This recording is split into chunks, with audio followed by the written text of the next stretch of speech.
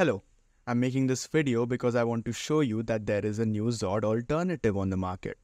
It's called Valibot and it seems to me from this entire article that it is just a smaller Zod. A smaller Zod. What does smaller mean? That doesn't sound like an academic term. Smaller as in it leads to a smaller bundle size in your project.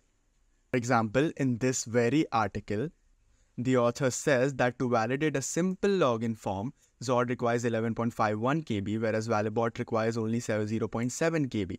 That's a 94% reduction in bundle size. They've given a lot of good reasons for this, and you can go and check out this at on builder.io.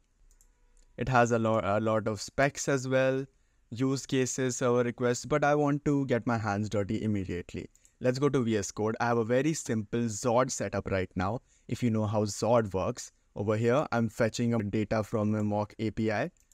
Then I've created a post schema. I'm parsing the data that is coming from uh, the, uh, the mock API. And if it is true, then I don't do anything. And if it is uh, it gives an error, I check if this particular error is an instance of a Zod error. And if it is, then I handle the error. In this case, I'm console logging because I'm demonstrating it. Let's go to the page and let's reload this. As you can see here, the data is very valid. Over here, there's a user ID, which is a number, ID, which is a number, title, which is a string, and body, which is a string.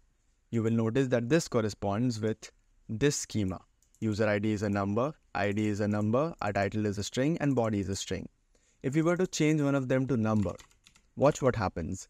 Since there it is in a try and catch block, it doesn't throw an error and crash our entire website it only console logs the error as we have handled the error right here.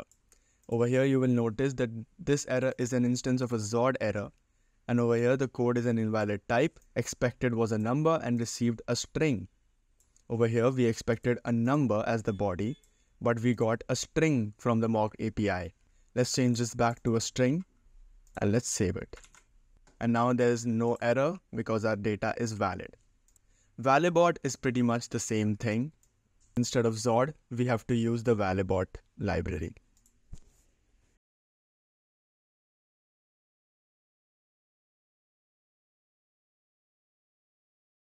We've also inferred the type of the data so that we can get our types over here, body ID, title, user ID. So that's pretty cool. We can infer the TypeScript type from the schema itself. So that's a very good feature that I like in Zod.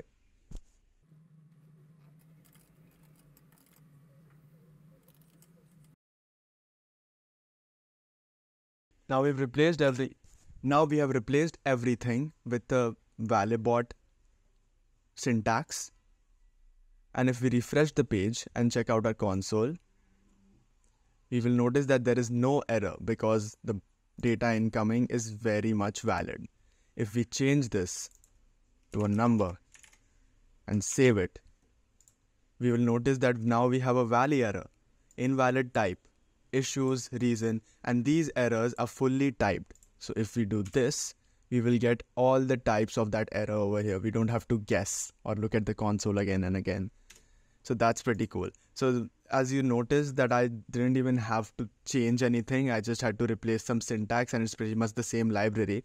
But the main appeal of this library is right here. The import value of this package is way less than the import value of this package.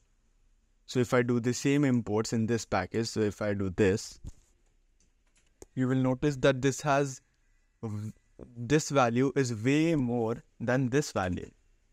And that is where the main appeal of this library lies. It reduces your bundle size by way too much.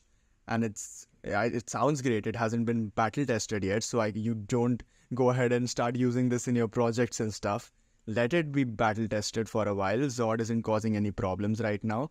A little with some time, try it out, see how it works. And yeah, that's pretty much it. Uh, that's my video. All right, bye.